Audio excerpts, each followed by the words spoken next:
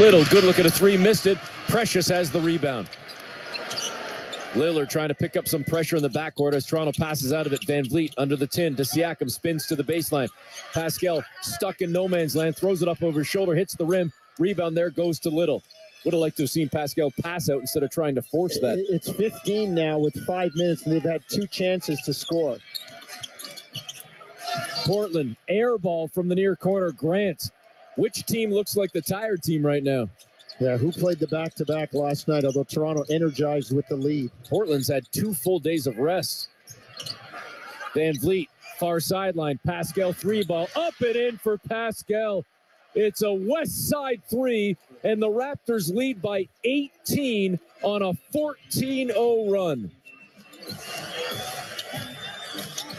Lillard, far corner. Grant driving along the baseline. VanVleet comes in and swats it away, and he barks to the bench, to the crowd. Freddie is feeling it in the fourth. Well, Fred talking to them too. Hey, man, you guys were talking to me when you blocked some. You got to take some back. 4.37 to go in the game. Raptors leading 108 90. Lillard has it near corner. VanVleet in front of him. Freddie leans in on Lillard, puts it on the floor, drives to the 10, throws his body into Barnes, got the bucket, wanted the call, didn't get it. That breaks up the Raptor 14 0 run. 4.20 to play. Toronto leading by 16. Freddie, deep triple, no good. Barnes under the 10, got it. Fouled, no call. And they finally blow a late whistle, and Barnes goes to the line with a stink face, and understandably so, because it took him forever to make that call. Now, Scottie did a great job on the offensive glass, retrieving it. And better late than never. And if you're the Raptors, a chance to push this thing back up to 18. Scottie flirting with a triple double tonight 14 points, nine rebounds, seven assists. Point total just grew by one. Yep, give him 15 now. Six of 11 from the floor. 109 92. Raptors lead. 4.14 to play. Second free throw clean as well.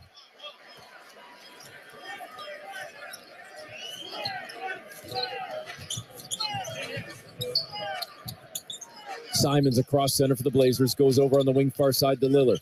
Lillard weaves through traffic, gets to the 10 and dunks it down. He found a gap and he went straight to the rim. Yeah, I was so concerned about the three with the Raptors that they they gave him an open driving lane. 110-94, Raptors by 16 with 3.45 to go. VanVleet drives, finds Barnes. Oh, and look out, Scottie Barnes. He was in the far corner, came along the baseline up and under the tin, and he flushed it down with a big time dunk. Well, they pressured VanVleet and they double teamed. Portland comes back and somewhat of a similar play. Dribble penetration, handoff on the baseline, and then Grant goes up and under the tin, takes the bump, and a three point play coming for Portland.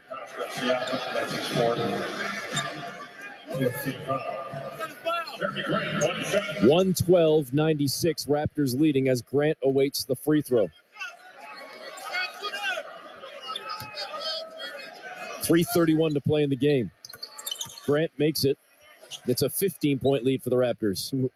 Truthfully, the Raptors right now, two or three more scores and this thing is done. VanVleet across center on that big Blazers logo. Grant on his right hip. He lobs a pass to Siakam down Main Street. Beautiful pass in traffic to Achiuwa, who is waiting, presenting himself in the back door. He was fouled at the rim, and Precious is going to the line. Well, I like the way Fred VanVleet is handling the pressure. They're coming after him, doubling. He's doing a good job of handling the ball, and the Raptors spreading the floor. Because when that ball leaves Fred's hands, it's going to another playmaker in Pascal.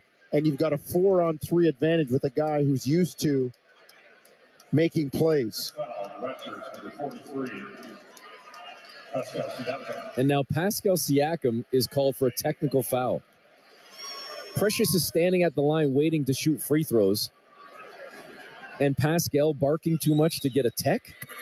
They just handed a free point to the Blazers. That's not a good look. Well, uh, we get a look at the replay, and guys were just standing around. I, I'm not sure what would have warranted a technical. Precious knocks down the first free throw, 113 98. Achiuwa tonight, 21 points, 13 rebounds. I, I love Pascal's comment. He said, This is a grown man's game.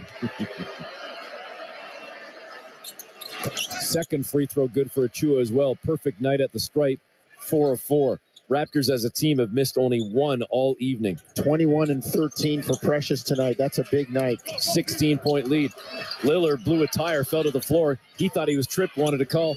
Double teamed on the baseline. Now he's barking at David Guthrie as Grant drives on the far side and lays it in. Lillard still yapping at Guthrie. How long's the leash for him? 14 point lead for the Raptors as VanVleet comes across center. Grant's on his hip. Left hand pass into the near corner to Achiuwa. Precious now goes back up top to Pascal. Shot clock down to eight. Pascal trying to work on Watford. Straight away. Here comes Pascal at the near elbow. Lost the ball, got it back, elevates, and missed badly, but that's off the leg of Grant. And they're going to say shot clock violation. That went out of bounds before the shot clock hit zero. I No. thought so too. That's some hometown cooking, if you ask me. 114 100. Raptors by 14 with 2.36 to go in the ball game on Toronto Raptors basketball, brought to you by Tangerine on Sportsnet 590, The Fan. Hey, Raptor fans, what would you rather have? More money or more vacation? Whichever you pick, it's a win win. Just like hitting the 50 50 jackpot. When you buy tickets to the MLSE Foundation Lottery, you support kids and youth in communities across Ontario. Last season, over $1 million in jackpot prizes were won. That means more money and more vacation. Talk about a true win win? Visit 5050raps.com for your tickets today. Lottery license number 1274001. 18 plus. Play responsibly. What's happening these days? Gas and food prices are through the roof, and mortgage rates are skyrocketing too. Talk about bad timing. There's bills, car payments, kids' lessons, and what about the fun stuff? You need room to breathe and someone to help figure it out. You need New Borrow to show you how to solve your debt and save money with the equity in your home. Use your home to get a loan with New Borrow. Start your new tomorrow at newborrow.com. Please be advised if you find winter driving distressing, the following is a real audio clip of a Subaru driving on an unplowed mountain pass in the Yukon in minus 23 degree conditions. Just listen to Subaru's standard symmetrical full time all wheel drive go to work on all that ice and snow. And that sound is our confident driver whistling Beethoven's Fifth, I believe. Visit your local Subaru dealer and really own winter with uncommon winter capability. Back at it. Toronto Raptors basketball on Sportsnet 590 The Fan. Welcome back. Paul Jones, Eric Smith with you. Fourth quarter action. The Raptors leading the Blazers 114 110 with 2.36 to play. We appreciate you tuning in on a Saturday night, which has now become an early Sunday morning as the Raptors lead the Blazers. Toronto looking to improve to 2 and 1 on this seven game West Coast road trip. Well, a lot of people, like I said, there's a lot of angst about what the Raptors should do. I play the long game. Be patient. Raptors on a 20 to 10 run since Portland cut the thing to four. Hence the 14 point lead here and 236 to go. Like I said, I said two or three more scores. They got one score at the free throw line with Achiuwa. I still think a couple more scores, two more, and this should be the game, regardless of what happens with the defense. Lillard drives down Main Street, turns around, passes to Little. Back to Lillard, far corner, triple, hits the side of the backboard, but he gets his own miss back, drives to the tin, and lays it in. Wow. Raptor lead is 12. VanVleet drives at center, passes to Siakam, back over to Freddie. VanVleet stops the dribble, finds Achiuwa on the far wing. Got to be aggressive and take this ball to the goal. Here's your aggressiveness in the lane, stops on a dime, lays it up and in. Precious Achiuwa. They're pressuring you out on the perimeter, wanting you to stop and look for a pass. knife right through them, take it to the 10, and that's what Precious did. 116 102. Lillard straight away, three ball up, no good, down low. Rebound to Barnes. One more score here. They got two of the three I wanted. One more here makes it a 16 point lead. 145 to play. VanVleet lobs a pass to Barnes. Barnes gets to the far elbow. Now goes to Siakam. Pascal up top straight away. Siakam backing up, now trying to drive on Simons. Gives it to VanVleet. Far corner to Precious. Three ball up and in for Achiuwa. And that might be the nail in the coffin. The Raptors lead 119 102. What a ball game for Precious Achiuwa. 27 points, 13 rebounds, and really terrific shot selection. Think back to a year ago, Eric, at this point. Everybody was wringing their hands and no, Precious, no, no, no. They had these wild forays to the basket and Yeah. shooting threes. And Nick Nurse even said at some point, Masai came in yelling at Nick, saying, What's Precious doing out there? And Nick was playing the long game. Let him expand his skills. Let's give him the freedom. We'll talk to him about when and where to go. But it's easier to rein somebody in than it is to crank them up and push them. And you're seeing the best of that right now, the way Precious is playing. Precious Achiuwa with a career high 27 points. Check that. I want to double check that. It's definitely a season high. And I believe it is a career high, regular season career high 27 points for Precious Achiuwa with 132 to go in the ball game. And the Raptors leading 119 102. He's put the work in this in during the summer. We know that he definitely has the confidence. And you put them together and you get a night like tonight for Precious.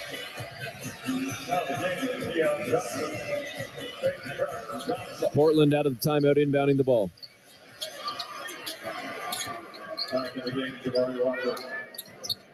Blazers down by 17 with only 90 seconds to play. Well, Chauncey Billups is Waving the flag. yeah, he's waving the white flag. Triple up, it rattled a couple of rims and ultimately fell down as Portland gets three more on the board as that one was good to go for Johnson. Keon Johnson buried that one to cut the Raptor lead to 14. Flynn trying to answer back near sideline, aired it, but it's cleaned up right under the rim by Ron Harper Jr. into the game for Toronto, who lays it up and in. Hasn't seen a ton of burn this year, but ready to go. Has been putting up some big numbers for Raptors 905. Driving in the lane, no good right at the rim. That was Walker. He saw a little bit of burn in the first half. Here he is in cleanup time, late fourth quarter. Dowtin Jr. for the Raptors lobs it to Koloko, who dunks it down on the alley oop, and the Raptors push the lead to 123 105.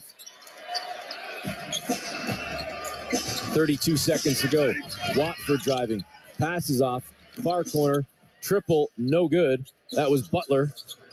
And the Raptors with the rebound will advance across center. They're going to have to give it up before the end of the game as there's about a four and a half second differential shot clock, game clock.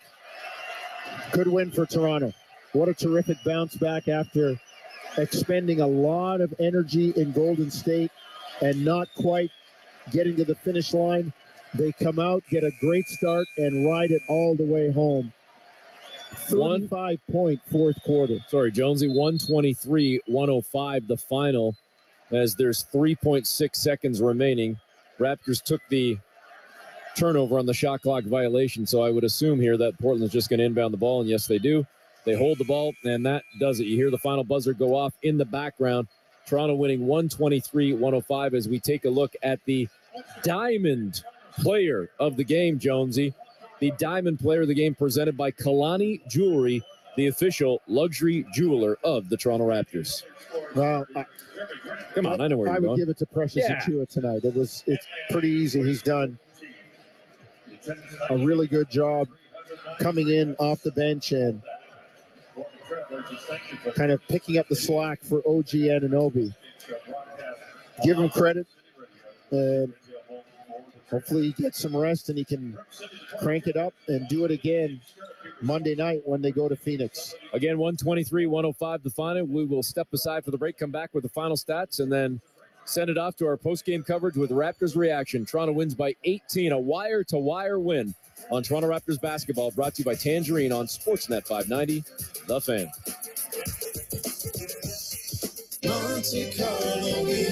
With the cold weather upon us, there's no reason why you still can't stay warm and connected. So this winter, make the Monte Carlo Inns your home away from home for quality accommodations, functional meeting facilities, and cozy restaurants. With locations throughout southern Ontario, Monte Carlo Inns is ready to check you in. Enter promo code WINTER at MonteCarloInns.com for savings of 15% off our luxury suites. Your home away from home. Ray Magliozzi here for eBay Motors. So you ordered a new air filter for your car. You try to install it, but it doesn't fit. So you take a little bit off the sides. Well, still doesn't fit? Well, you could try to sit on it. Mm. Or just go to eBay Motors and get it right the first time. When you see the green check, you know that part's going to fit. Air filters, brakes, headlights, eBay Motors has millions of parts. Get the right parts at the right prices. eBay Motors, let's ride. Introducing Subway's Refresh Crispy Chicken Recipe, made with delicious seasoned chicken breast, starting at just $3.99. It's so good, we made four delicious ways to enjoy it, like the sidekick served on a soft potato bun, or the crispy chicken bacon and peppercorn ranch made with Maplewood smoked bacon, or in a rice wrap or a savory rice bowl. Which one will you try first? Subway, eat fresh, refresh. Freshly prepared for your order. Delivery fees, extras, add-ons, small order and service fees additional, plus taxes. For a limited time at participating restaurants. At Toyota, our vehicles have always had quality and dependability built right in. Because after you take me to hockey, I've got drum lessons, then a birthday party, then karate, rock climbing. Quality means everything to us because it means everything to you. Order a new 2023 RAV4 LE all-wheel drive starting from $35,872. Price includes additional fees, taxes extra. Visit shoptoyota.ca or your local Ontario Toyota dealer today. It's time to Toyota. Back to the action. Toronto Raptors basketball on Sportsnet 590 The Fan.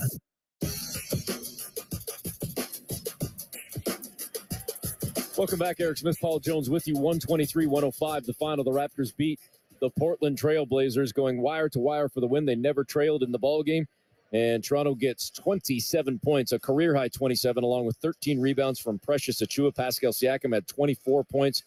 Scottie Barnes, 18 points, 10 rebounds, 7 assists as he flirted with the triple double. 19 points for Gary Trent. 13 of those came in the first quarter. Fred VanVleet, 11 points, 9 assists, 6 rebounds, and he was solid in so many ways in the fourth quarter. On the other side for the Blazers, 30 for Damian Lillard in the loss, 26 for Jerami Grant. And Jonesy, two and one now on this seven game road trip, and the Raptors improved to 23 and 28. Yeah, um, good night. Good win, good road win. Uh, second night of the back to back. Got off to a great start and just able to ride it. I think that probably buoyed them and gave them some energy. Give credit to Fred VanVleet. You know, he's the leader. Um, 11 points. It sure seemed like he had a lot more than 11, but, you know, six rebounds, nine assists, a, a real solid job steadying the team. Achiuwa, as we talked about, our player of the game. Siakam was better tonight. Trent came out against his old team, and then Scottie Barnes, a couple of a few assists shy of a triple double. It was a pretty good effort. And considering that you put Precious in the starting lineup, you still got a little bit of production off the bench. Boucher gave you 10. Thad Young was good on, on three of four. So, you know, your your your bench actually outscored Portland's bench. So good win for Toronto. They'll fly to Phoenix and get some sun and get some rest and hopefully crank it up for Monday night. Raptors reaction, our post game coverage is coming up in mere moments as again the Raptors win 123 105 as they will get set for that game, as Jonesy just mentioned, coming up on Monday against the Phoenix Suns. Thanks to our entire crew here at uh, Raptors Central, J.R. Manitat and Tom Young. And thanks to all of you for tuning in on a Saturday night slash early Sunday morning as Toronto picks up the victory in the Pacific Northwest. Thanks for tuning in to Toronto Raptors basketball. Brought to you by Tangerine on Sportsnet 590, The Fan.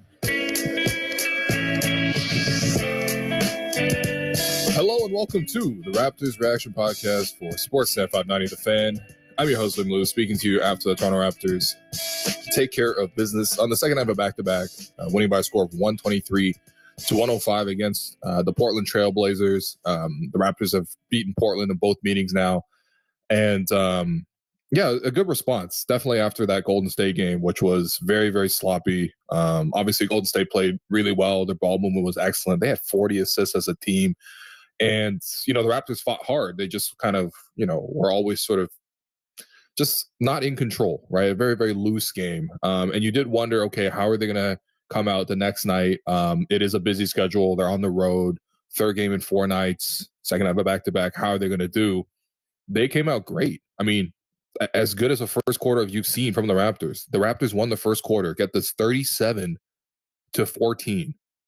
And Portland had to call the first two timeouts. Um, you know, it, and everything was working. Uh, I, I, think, look, in this matchup, the Raptors do have some very distinct advantages. Um, you know, specifically, Portland plays a lot through their smaller guards who they can't get downhill. And we saw that in the second half. But for the most part, the Raptors have some real size advantages that they're able to attack, they're able to exploit. Um, Portland's also without, uh, you know, a, a pair of key-ish rotation players. You know, Josh Hart was was decent in the first meeting against Toronto, and uh, Jusuf Nurkic is is a big presence down low.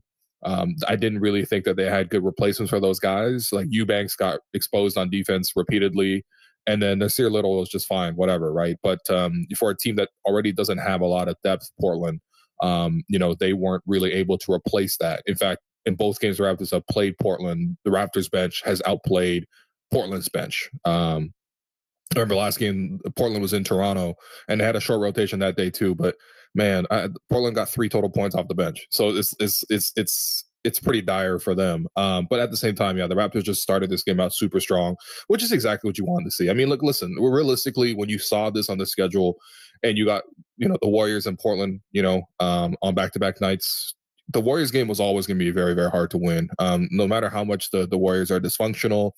Uh, or that they're disappointing this season.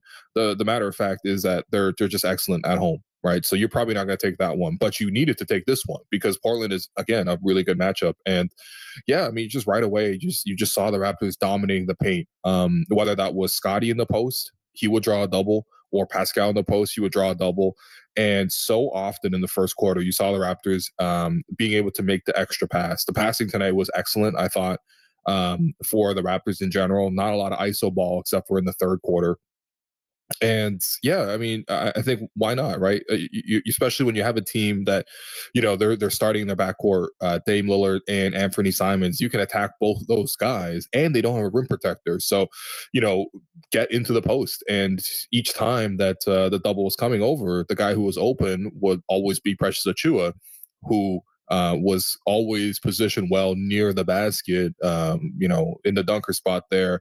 And what, yeah, when Eubanks came over uh, it, it was just layup after layup for Precious Achiuwa. By the way, Precious tonight finished with 27 points, a career high, 13 rebounds, two steals, a block. An excellent, excellent game in 33 minutes, plus 27 as well.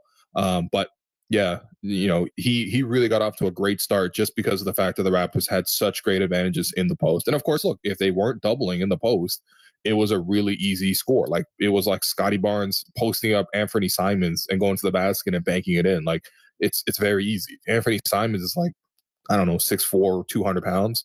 Scottie Barnes is like just a tank compared to him and has way too much length. So of course you got to bring the help, but it was just so easy. And on the other end, I thought the Raptors did a really good job defending um, all night. Uh, I thought Fred did an admirable job of guarding Dame Lillard the full you know the length of the floor. Obviously, you got to put some ball pressure on him and stuff like that.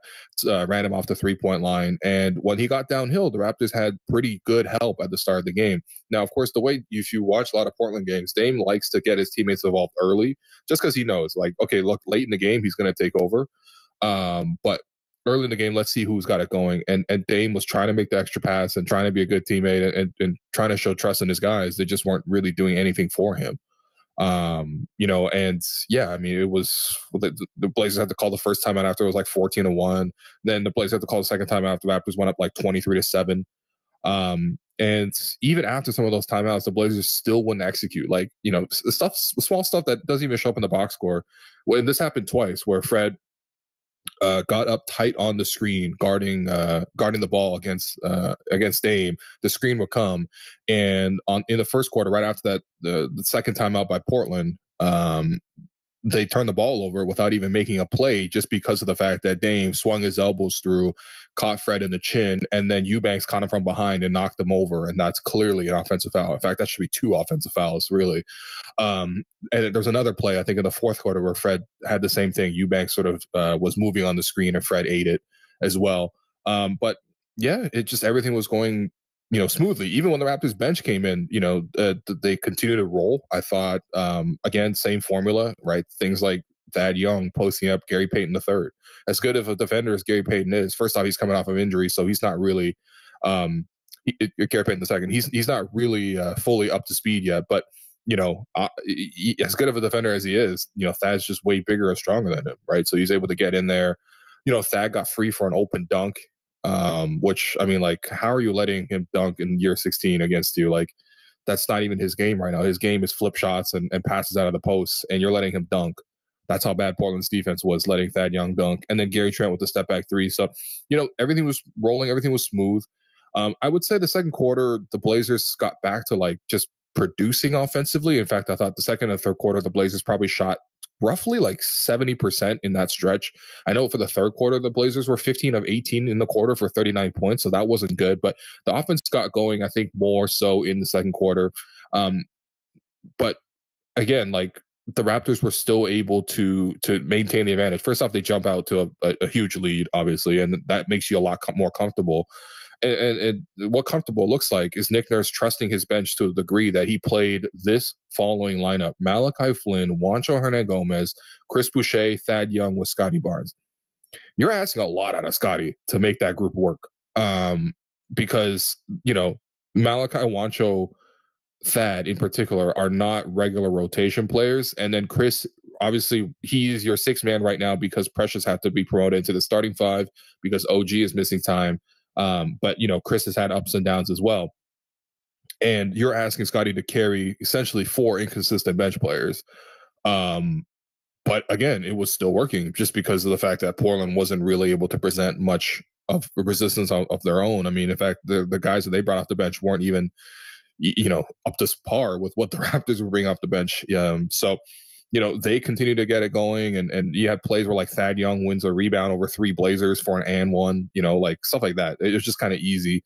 But once the Blazers brought their starters back in, that's when they started clicking. Um, they started getting downhill, and that was the main issue. Anfernee Simons, Dame Lillard, to a lesser extent Jerami Grant, but um, those two guards continuously getting downhill. And listen, the Raptors don't have that great of rim protection right now. Um, but they have multiple bodies who can sort of stack uh, in the lane. And if the Raptors make the right rotations and bump the roller or like, you know, make sure that they, you know, have a help defender in position rather than just, you know, straight up letting guys get beat one on one.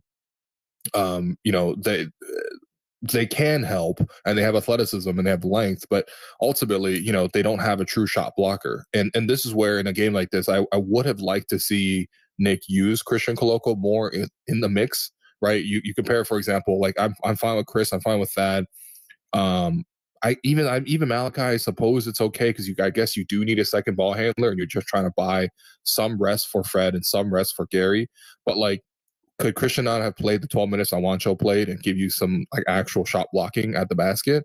And who knows, he might have committed like three fouls in that stretch because he, he does have that kind of tendency sometimes, Christian, to give up fouls. But you know, I did want to see a little bit of rim protection. But yeah, I mean, when it's Thad Young, who's your last line of defense, uh, guys are just driving through him and, and, and scoring because again, he's in year 16. He's not really in position to jump around and, and and contest shots or block shots. And in fact, it's not even just like his specific positional play because I really don't think there's any too much issues with that. It's more like just the opposing team is looking downhill and they're like, okay, yeah, I'm like like if you're Anfernee Simons, you're a very athletic 23 year old and you're driving downhill off a high screen, and obviously they got to chase over the top because he's a threat to shoot.